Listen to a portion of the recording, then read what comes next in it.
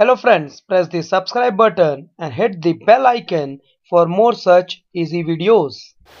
Hello friends आज की इस वीडियो में हम देखने वाले हैं कि एन बुक को कैसे सही तरीके से पढ़ा जाए। तो इस वीडियो को एंड तक देखिएगा ताकि आपको समझ में आ जाए। देखिए मैंने एक बायोमोलिक्यूल्स चैप्टर एक ओपन अप किया हुआ है।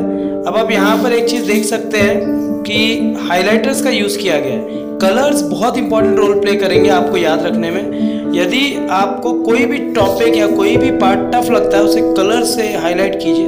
और जो इंपॉर्टेंट पॉइंट लगता है, उसे भी आप हाईलाइटर से हाईलाइट कीजिए। हाईलाइट करने से क्या होगा? जैसे ही आप किताब खोलेंगे तो सबसे पहली नज़र आपकी जो है, उस लाइन पे पड़ेगी, जिसकी वजह से आप उसे देखोगे और आपको धीरे धीरे याद हो जाएगा।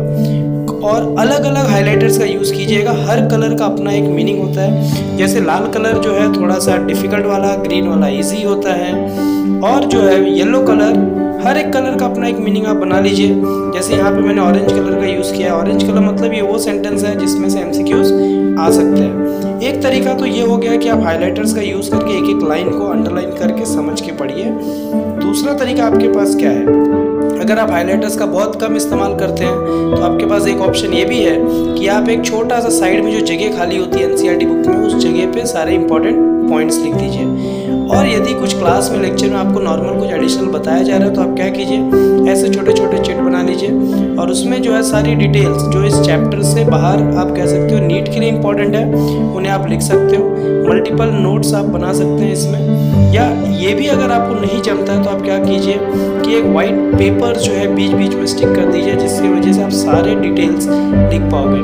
तो तीन तरीका है, उसमें से कोई भी जो आपको पसंद है, आप फॉलो कीजिए। एक है हाइलाइटर्स का यूज़ कीजिए। दूसरा आपके पास है ऐसे चिट्स बना बना के साइड में स्टिक कर दीजिए, ताकि इंपॉर्टेंट पॉइंट्स आपको एक ही जगह पे मिल जाए।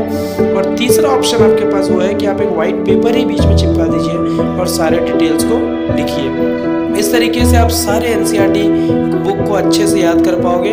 देखिए यहाँ पे कैसे हर छोटी छोटी जगह पे जहाँ जगह खाली है इंपॉर्टेंट पॉइंट्स को लिखा गया है या हाईलाइट भी आप यूज़ कर सकते हो या जैसे पेपर बीच में लगा के सारे डिटेल्स आप लिख सकते हैं। तो उम्मीद करता हूँ दोस्तों कि आपको समझ में आया होगा और थोड़ा बहुत हेल्प मिल जाएगा कि किस तरीके से आप एन बुक को पढ़ सकते हैं। अगर आइडिया आपको पसंद आ गया हो तो लाइक कर दें चैनल को सब्सक्राइब कर लें अगर आप नए हो तो।